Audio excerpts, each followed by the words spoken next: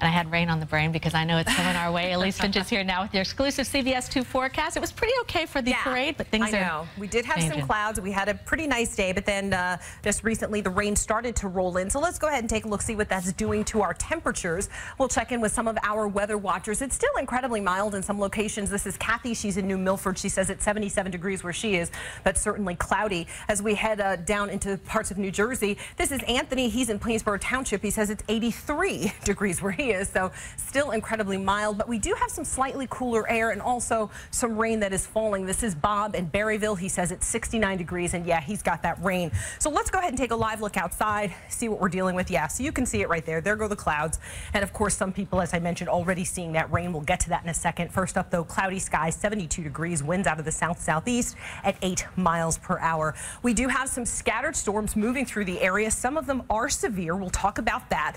Uh, things remain unsettled for tomorrow summer-like feel as far as temperatures are concerned, but then we do get a cool down. So take a look. Here's where we have severe thunderstorm warnings. Hunterdon in Morris, Somerset, Sussex, and Warren counties in New Jersey until 7 p.m. Quarter-sized hail. That's what's uh, possible with these storms. Winds in excess of 60 miles per hour. Uh, the system is near Newton, and it's moving about southeast at 30 miles per hour. We also have some flood advisories until, in effect until 9 p.m. Morris, Sussex, Warren, that's you. Flood advisory until 9 p.m. So here's the cell. These are the ones that we're concerned concerned with. Again, near Newton moving uh, southeast at about 30 miles per hour. So this is what we're talking about. It is weakening as it moves, but of course, still the lightning strikes, the brief but torrential rains, still capable of producing hail and of course some very, very damaging winds. So we zoom in, you can see all anytime we see those colors, we've got that red, that hot pink, you know that we're talking about some strong storms. As we broaden out and show you the big picture, you can see, yeah, quite a bit. We've got a line of showers and thunderstorms from Pennsylvania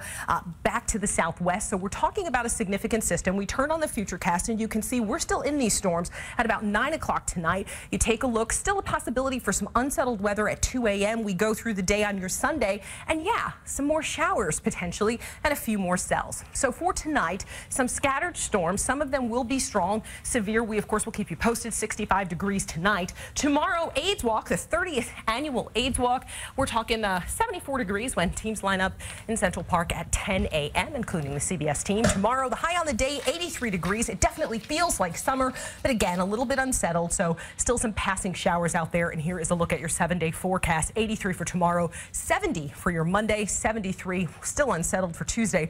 Wednesday, looking beautiful, 70 degrees, lots of sunshine, and then the end of the week is looking a little drier and a little more stable than the beginning of the week. All right, people will be happy with the cooler temperatures. I think so. Those who love it. All right, thanks, Elise.